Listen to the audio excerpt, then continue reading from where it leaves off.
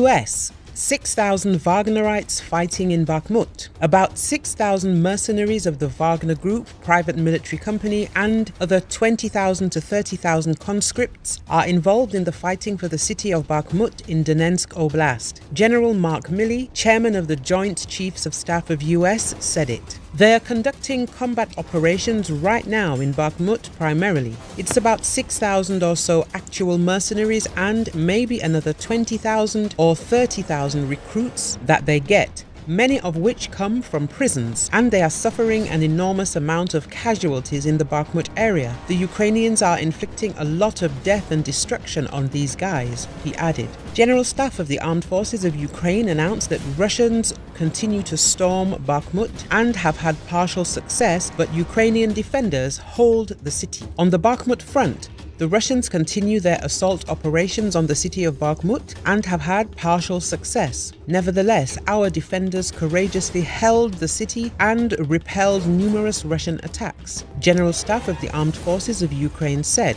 Yevgeny Prigozhin, chief of the Wagner Group, said that his forces and their equipment have been badly damaged in the months long campaign for control of the small but strategically important city of Bakhmut in eastern Ukraine.